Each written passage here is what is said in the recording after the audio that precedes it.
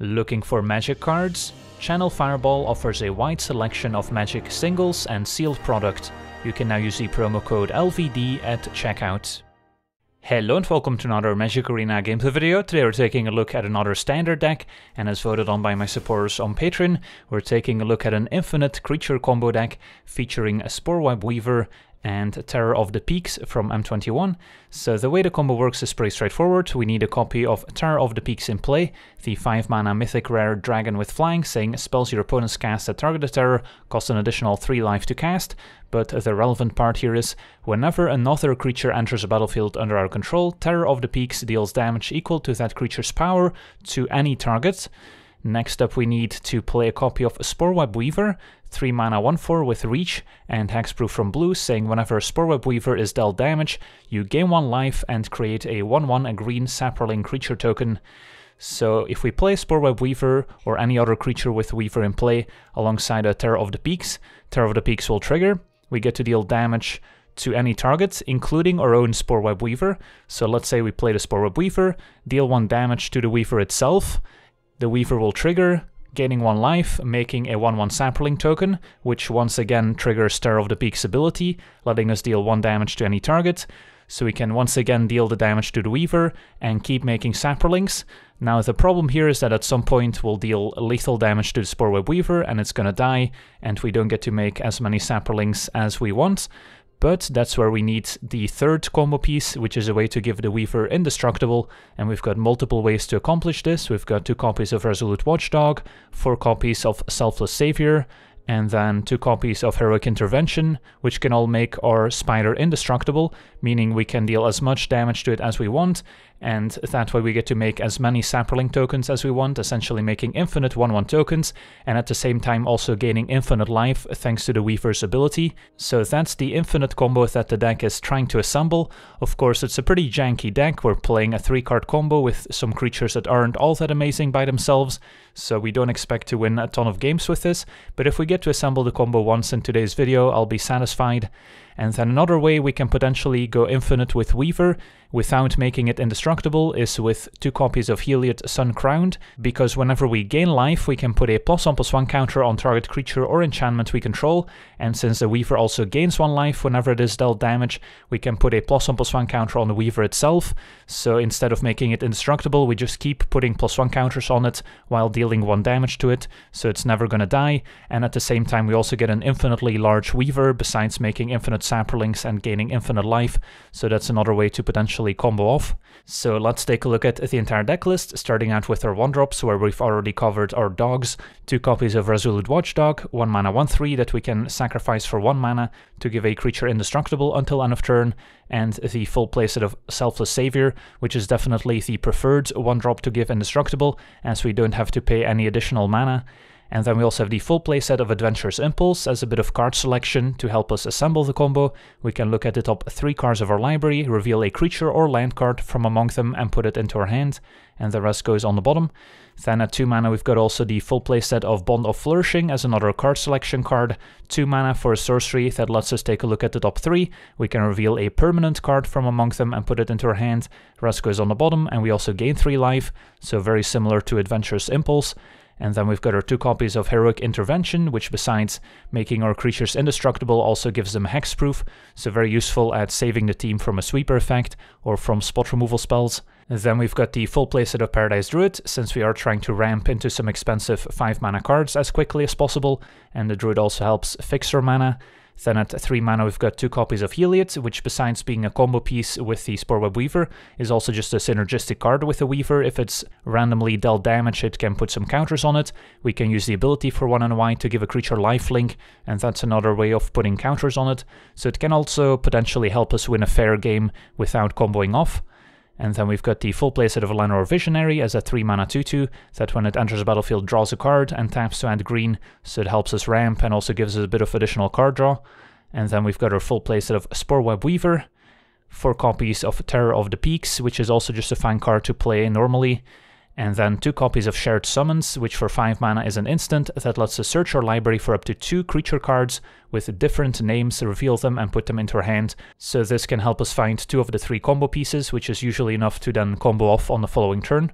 And then the mana base, pretty straightforward. We're not playing any copies of Fabled Passage since we don't want to shuffle our deck, since we're putting cards on the bottom with Adventurous Impulse and Bond of Flourishing that we would rather not draw. So we've got two plains, two mountains, two forests, then four Stomping Ground, four Temple of Abandon, the Scry one also useful at assembling the combo, four Sacred Foundry, four Temple Garden, and two Temple of Plenty for another Scry land. So that's our deck. Now let's jump into some games and see how the deck does. Alright, we're on the draw, and we've got a pretty decent hand. We've got Dragon and Weaver, a few accelerants, just missing an indestructible trick, but there's no lack of those in the deck.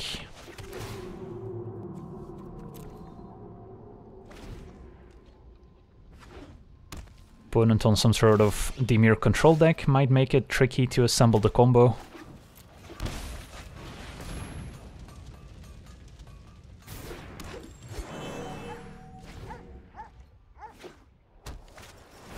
Ooh, Teferi's Tutelage, zero points on the mill deck.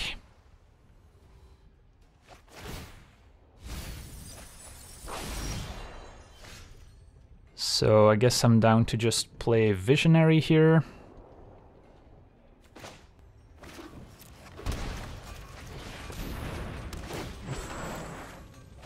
And I'll keep the Paradise Druid untapped so they can't easily kill it.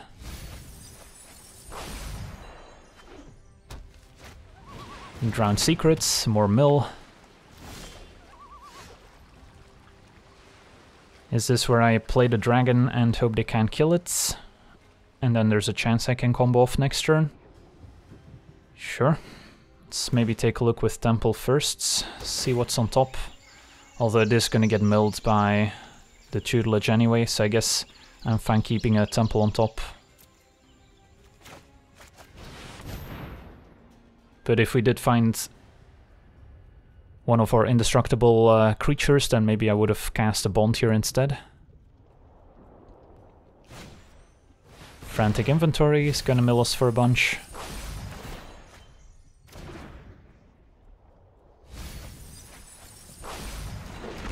Alright, let's see for opponent's packing removal. Both of my shared summons are gone into the story to draw some cards. Okay, that's fine. So can we find the missing combo piece here? Although infinite life is not necessarily enough to beat the mill deck.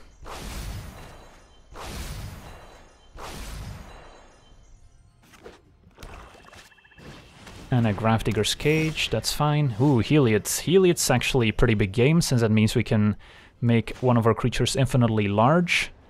Although without indestructible, it's the spider that's going to be infinitely large and not one of our untapped creatures. So I wouldn't be able to attack for infinite necessarily. But I guess that's good enough. Just make infinite tokens, gain infinite life. Hope they can't mill 27 cards next turn.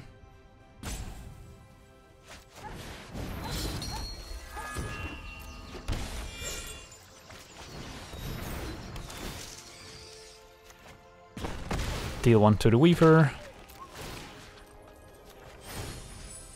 And Heal is going to start putting counters on the Weaver as well.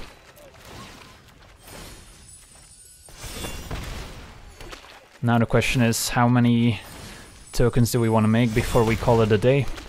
Opponent could easily have a Ritual of Soot in their deck or some other sweeper. Which means that the Infinite Saprolings are not necessarily going to get to attack. So I guess we'll call it a day at uh, 20 tokens here. And then the last couple plus one counters I can also place on Terror of the Peaks. Alright, so this deals damage to the Weaver. Heliod, puts a counter on the Terror of the Peaks. Maybe we want to diversify, although if the card I'm worried about is Ritual of Soot, I guess I could also have extinction events, but that doesn't deal with the tokens if they deal with uh, odd numbered creatures. So I'll just put all the counters on Terror of the Peaks, I think. Alright, and then deal one damage to my opponents. And the last counter on Terror of the Peaks. And attack for 10. Alright, so we've got technically an infinitely large Weaver and infinite tokens Let's see if my opponent can mill me out here. Into the story. Alright, that's gonna draw four cards, so that mills for eight. And they have two mana remaining.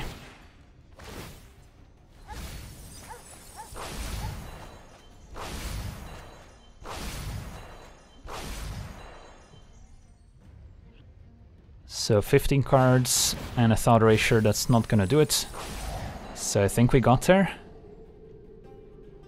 Opponent didn't have much in the way of interaction, but they were gonna mill me pretty soon here. 13 cards left, so next turn they probably would have killed me. Sweet, on to the next one. Alright, we're on the play, and uh, yeah, we've got all three combo pieces in hand here.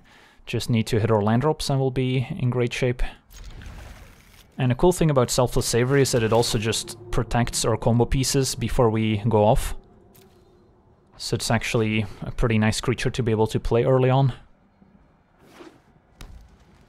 Facing Stomping Ground.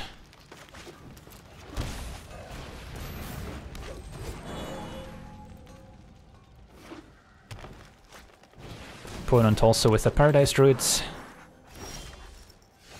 Alright, I want to avoid tapping my Paradise Druid, I think, in case my opponent has a Stomp from Bonecrusher. So I'll just play the Weaver and pass, and then the Savior can trigger the Terror of the Peaks. It's the turn we combo off. So I wouldn't be able to combo next turn, but I also wouldn't be able to combo if I played Savior, because I still need to trigger Terror of the Peaks to begin with. Bang of Holding, interesting. Alright, Temple, so won't be able to play the Dragon this turn. But if I keep a land on top, I can combo off next turn. Visionary, not quite. I guess playing Heliod also means I can um, potentially attack with an infinitely large Sporeweb Weaver. So we'll run it out there. And I'll keep the Weaver back on defense.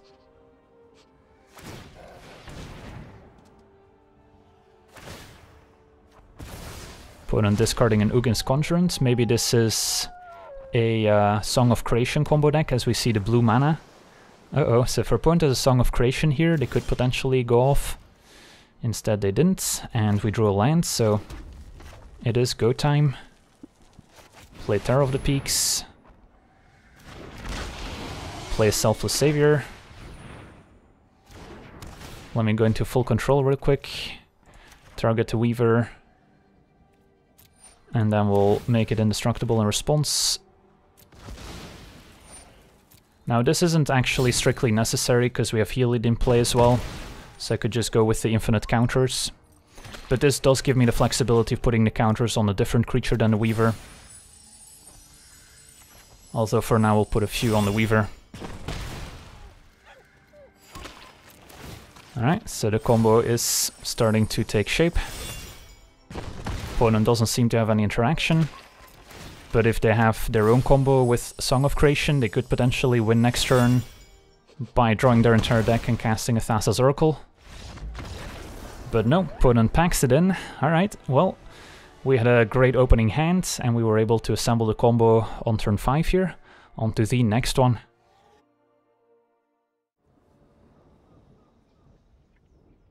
Alright, we're on the draw. And yeah, this hand's okay. It's a little slow since we need to cast Shared Summons to assemble the combo, but it does fetch up both the Spider and the Dragon. Facing an Alseid. And I'm happy just keeping another land on top. The Visionary also helps. So this might be the green-white hexproof aura deck.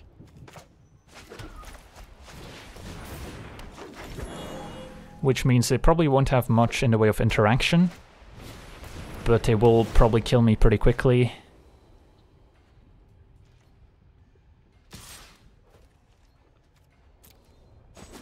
Opponent's not willing to tap their Paradise Druid quite yet. Of course they don't know that we don't have any removal. So play Visionary, next turn we can Summons. And then we're not too far from the combo.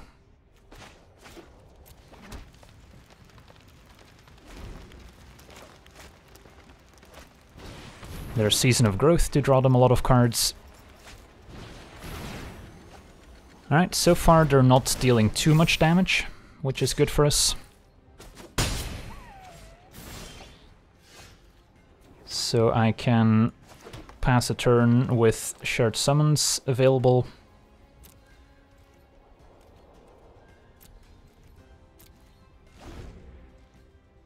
Now it's possible I should have played Heliod instead of the Visionary, just so I have my indestructible trick already in play, but we do have intervention in hands, so that also works. Although it is going to cost me 2 mana. Sentinel's Eyes.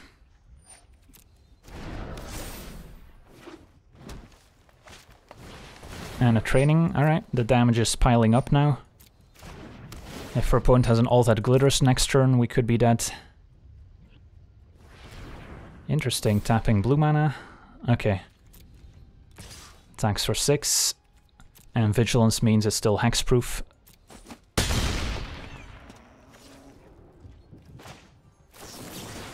Alright, let's assemble some combos. Get the Weaver. Now I don't have enough mana to play all the combo pieces, but I do have enough mana to keep up Heroic Intervention, so worst case scenario I can just block the Paradise Druid and make the dragon indestructible, which might save me. And then next turn I can combo off by playing Heliod into Weaver. So I think that's probably the way to go here. Don't know if my point has other pump spells I should be worried about.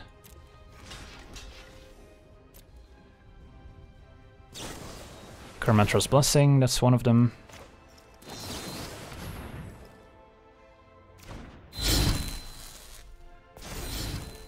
So they're still trampling over for 4. But that's not lethal.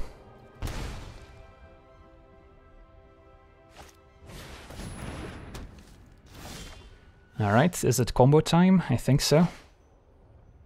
Play Heliods. Play Weaver.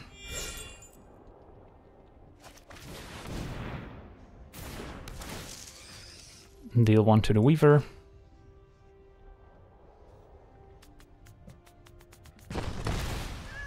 Now I could have also given the Terror of the Peaks lifelink with Heliods. I guess I would have gained me even more life, but uh, I think we'll be okay. I don't think the Aura deck can beat Infinite Life and Infinite Saprolings. If you're playing this deck, you do want to make sure that you turn off the Enable Gameplay Warning settings, otherwise it's going to keep asking you every time you target your own Sporeweb Weaver with Terror of the Peaks ability whether you're sure that you want to target it, so that's going to waste a lot of time, so make sure to turn off this setting when going through the combo. I think the realization might be starting to set in for our opponents. Alright, sweet, and our opponent packs it in. The combo proving to be a lot more consistent than I thought it would be. On to the next one. Alright, we're on the draw with a fine opening hand. We're missing the spider, so that's gonna be the goal here to try and find it. But we have a fine curve in the meantime. facing turn 1 Swamp. And we could of course just win a fair game where we play turn 4 Terror of the Peaks and start attacking with it. Kitesail Freebooter is gonna take my intervention and see what I'm up to. No real way of killing the freebooters, so that intervention's probably gone forever. Maybe I guess the Terror of the Peaks can kill it eventually.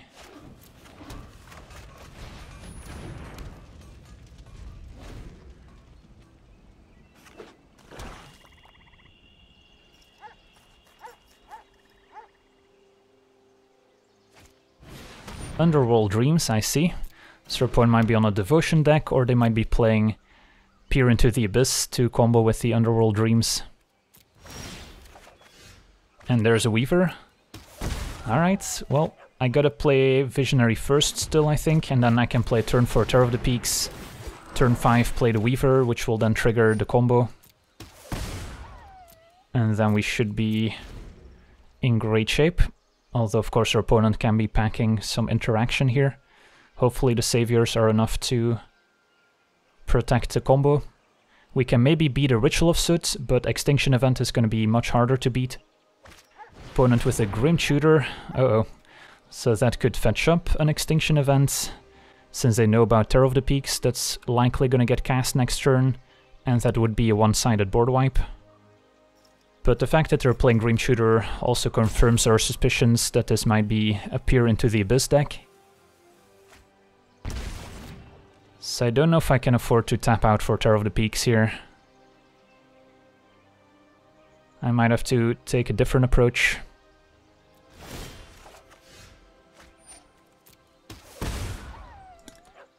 So how about I play Sporeweb Weaver?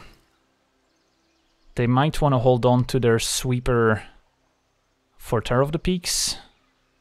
And then next turn I could play Terror into Watchdog and still combo off. Let's see what we find with the Impulse Firsts. Another Terror of the Peaks. Alright, it's good to have a bit of redundancy. Although if I wanna play Terror of the Peaks and Watchdog next turn, I will need an extra land. So maybe I should take the land. If the hope is to be able to combo next turn. What if they just cast the Extinction Events? Then I guess I also need the land to cast Terror of the Peaks. Uh, we'll take the lands. Might not be the most intuitive play. And then I can attack for two. Play Weaver and cross our fingers. Opponent takes it.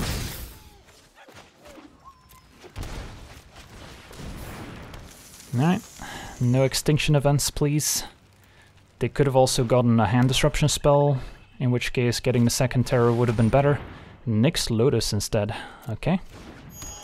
I guess they want to cast Peer into the Abyss next turn, but uh, Infinite Life should beat Peer into the Abyss here. Alright. So we get to play Terror, play Watchdog. No! It didn't keep white mana untapped. Disaster strikes.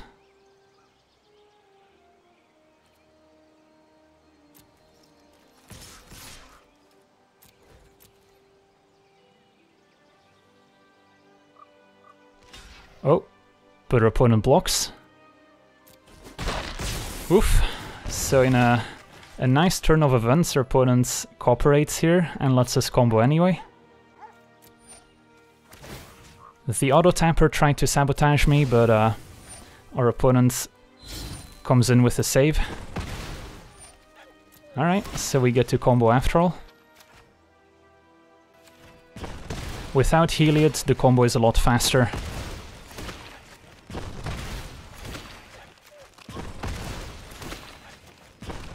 Now the problem is, I probably need to make a lot of saplings here, because Peer into the Abyss with Underworld Dreams can deal a lot of damage.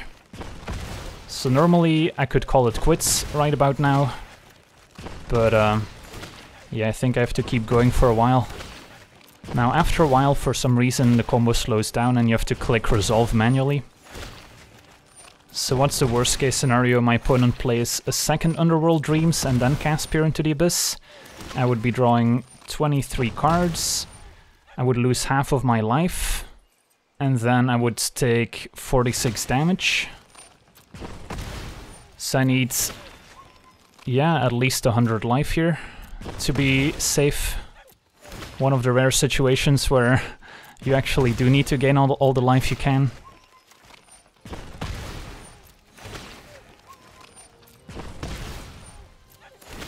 Alright, we're at 100 life. We'll kill the freebooter with the last point of damage. And hope that our opponent uh, can't kill us here. They did also lose one devotion in the process, which could matter. Alright, our opponent's back, plays a fifth land. So they have enough mana for Peer, or even Dreams into Peer. I kind of hope they have Dreams into Peer now, so I didn't waste my time getting 100 life. Ob Nixilis the Hate Twisted instead. Don't think that's gonna do it. Demon, Unless they also have a sweeper here. Alright, and our opponent packs it in. Wow. We haven't been playing against the most competitive decks, I'll admit that. But uh, we have been able to assemble the combo very consistently, so I'm very happy about that. On to the next one. Alright, we're on the play, and what do we think of this hand? We're basically just missing the dragon, and we do have Heliod plus Weaver, which in some matchups is pretty decent. I'll try it. Temple helps us scry, can keep any of our adventurous impulses Bond of Flourishings as well. Bond of Flourishing also synergizes with Heliod. And try and find our dragon. Temple Garden, I don't think I can keep here. We'll probably find more lands along the way. Turn 1 Grazer, so we're up against a ramp deck. Ooh, there's Terror of the Peaks, okay. So, yeah, we just need a, a land or two here. Turn to Nessian Wanderer, so they've got some enchantment synergy. So what's the ideal sequencing? Probably Heliod first, then Terror of the Peaks, then Sporeweb Weaver combo off. And keep the Paradise Druid untapped. Because Heliod is not going to trigger Terror of the Peaks, since it's not a creature when it enters the battlefield. Alright, let's hope they don't have removal for my dragon. Because the drawback of Heliod, unlike the Savior, is that it doesn't protect the Terror of the Peaks. Sanctum of Shattered Heights. So opponent's playing a Sanctum deck. Alright, so they shouldn't be able to kill my dragon here. Okay, so... Can't believe that I'm saying this, but we're about to combo off for the fifth time today.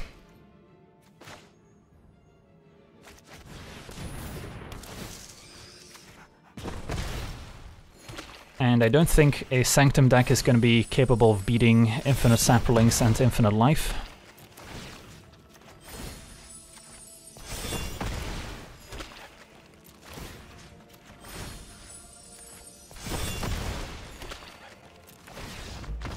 And our opponent packs it in. Wow. And we even had the white mana here to activate Heliod, giving Terror of the Peaks lifelink, which would have uh, also meant more plus one counters from Heliod, so that's also a small interaction to keep in mind. Sweet. Well, today's gameplay couldn't have gone any better. We won every game, and we managed to assemble the combo every game. Granted, we didn't play against any tier 1 competitive standard decks, but that was never our intention to beat those. I was just uh, happy to be able to combo off here and show how the combo works. So definitely a successful day of janky combos. That's gonna do it for today's gameplay. Wanna thank you for watching, hope you enjoyed, and as always, have a nice day. I also wanna thank all my patrons for being part of the channel, and you can become a patron yourself today and decide the topic of future videos over at patreon.com forward slash legenvd.